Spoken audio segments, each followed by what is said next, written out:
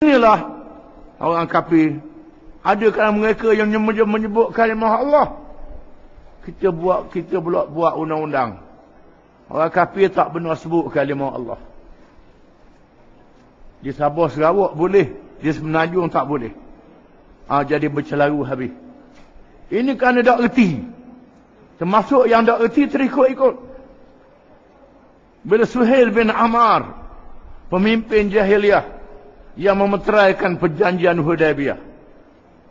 Nabi kata tulis, wahai Ali bismillahirrahmanirrahim. Kata Suhail bin Amar, kami tak pernah dengar bismillahirrahmanirrahim. Kami tak setuju. Kami setuju tulis bismikallahumma. Sebut Allah saja. Bismikallahumma. Nabi kata tulis hak dia nak. Bismikallahumma. Nabi tak lepas dia. Orang kafir sebut kalimah Allah. Tulis. Bismikallahumma. Tulis. Orang kafir minta. Ha tulis hak dia nak. Nabi tak tak apa. Mu tak boleh sebut kalimah Allah. Nabi tak kata begitu. Oleh kerana memang kita terlalu sayang dengan kalimah Allah ni. Sayang sangat. Tapi tak tahu nak jaga bagaimana tempat dan kedudukannya. Ini kena faham. Jangan ikut puak-puak yang selalu yang tak faham. Orang kafir nak masuk Islam.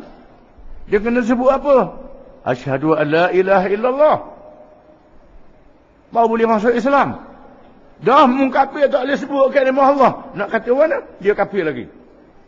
Nak masuk Islam macam mana? Senyap begitulah. Sebut kalimah Allah tak boleh lagi sebab dia kafir. Ha, macam mana? Kena sebut kalimah Allah dulu. Baru jadi masuk Islam. Ini kita kena faham. Di sini menunjukkan bahawa di sana ada persamaan di antara ajaran nabi-nabi dan rasul-rasul zaman dulu dengan Nabi Muhammad sallallahu alaihi wasallam. Cuma hukum-hukum saja yang berubah. Kerana terlalu lama menyeleweng, terikut-ikut dengan kesesatan dan jahiliah.